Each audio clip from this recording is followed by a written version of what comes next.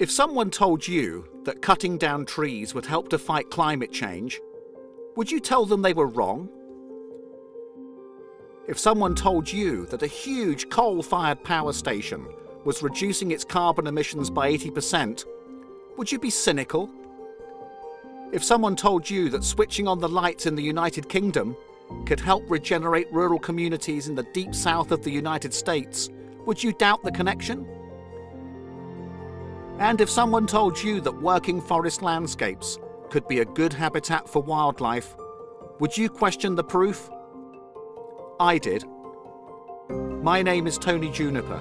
I'm an environmental campaigner, and I went to find answers to these questions and more.